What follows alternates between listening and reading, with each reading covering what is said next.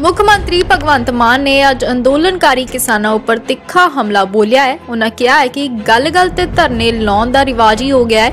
CM Bhagwant Mann ਨੇ ਕਿਹਾ ਕਿ ਇਨ੍ਹਾਂ ਧਰਨਿਆਂ ਕਰਕੇ ਲੋਕਾਂ ਨੂੰ ਮੁਸ਼ਕਿਲਾਂ ਦਾ ਸਾਹਮਣਾ ਕਰਨਾ ਪੈ ਰਿਹਾ ਹੈ। ਉਹਨਾਂ ਨੇ ਕਿਹਾ ਕਿ ਪ੍ਰਦਰਸ਼ਨ ਕਰਨਾ ਕਿਸਾਨਾਂ ਦਾ ਹੱਕ ਹੈ, ਪਰ ਸੜਕਾਂ ਤੇ ਧਰਨੇ ਲਗਾਉਣ ਦੀ ਬਜਾਏ ਮੰਤਰੀਆਂ ਦੀਆਂ ਕੋਠੀਆਂ ਦੇ ਬਾਹਰ ਧਰਨੇ ਲਗਾਏ ਜਾਣ। ਮੇਰੀ ਕਿਸਾਨ ਜਥੇਬੰਦੀਆਂ ਨੂੰ ਅਪੀਲ ਹੈ ਕਿ ਅਸੀਂ ਤੁਹਾਡੇ ਨਾਲ ਗੱਲਬਾਤ ਕਰਦੇ ਹਾਂ। ਮੰਗਾ ਮੰਨਦੇ ਵੀ ਹਾਂ ਅਮਲੀ ਰੂਪ ਦੇ ਵਿੱਚ ਲਾਗੂ ਵੀ ਕਰਦੇ ਹਾਂ, ਫਿਰ ਵੀ ਪਤਾ ਨਹੀਂ ਕਿਉਂ ਧਰਨਾ ਕਿਉਂ ਲਗਾਉਂਦੇ ਹੋ, ਆਮ ਲੋਕਾਂ ਨੂੰ ਖੱਜਲ ਨਾ ਕਰੋ। ਪਿਛਲੇ ਦਿਨੀ ਤੁਸੀਂ ਵੀ ਦੇਖਿਆ ਕਿ ਇੱਕ ਰਵਾਜ਼ ਜਿਹਾ ਬਣ ਗਿਆ।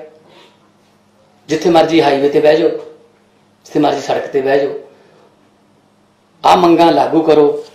ਅਸੀਂ ਇੱਥੇ ਸ- ਉਹਨਾਂ ਨਾਲ ਇੰਨੀਆਂ ਮੀਟਿੰਗਾਂ ਕੀਤੀਆਂ ਕਿਸਾਨ ਜਥੇਬੰਦੀਆਂ ਨਾਲ। ਸ਼ਾਇਦ ਪਿਛਲੇ 10 ਸਾਲ ਚ ਉਹਨਾਂ ਨਾਲ ਕਿਸੇ ਨੇ ਇੰਨਾ ਮੀਟਿੰਗਾਂ ਨਹੀਂ ਕੀਤੀਆਂ ਹੋਣੀਆਂ। 4-4 5-5 ਘੰਟੇ ਤੁਸੀਂ ਵੀ ਵੇਟ ਕਰਦੇ ਰਹੇ ਹੋ ਬਾਹਰ।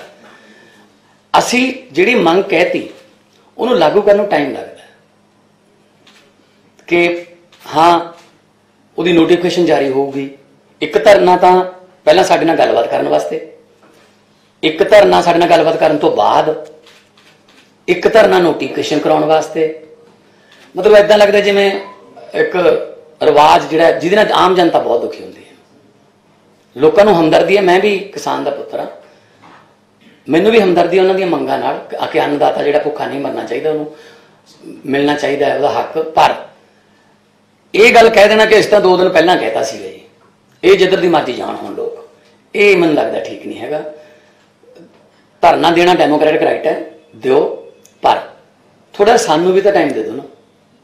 5 ਨਵੰਬਰ ਨੂੰ ਮਿਲਣਾ ਚੱਲਣ ਦੀ ਗੱਲ ਹੋਈ ਸੀ, ਪਰ ਜਦੋਂ ਮਿਲਣਾ ਵਾਲਿਆਂ ਨਾਲ ਗੱਲ ਕੀਤੀ, ਉਹ ਕਹਿੰਦੇ ਜੀ, ਅਸੀਂ 20 ਤੋਂ ਪਹਿਲਾਂ 15 ਤੋਂ 20 ਦੇ ਵਿੱਚ ਵਿੱਚ ਹੀ ਚਲਾ ਸਕਦੇ ਹਾਂ। ਕਿਉਂਕਿ ਇੱਕ ਤਾਂ ਸਾਡਾ ਜਿਹੜਾ ਮ, ਤਿਆਰੀ ਹੁੰਦੀ ਹੈ ਕ੍ਰਸ਼ਿੰਗ ਦੀ ਉਹ ਕਰਨੀ ਹੈ।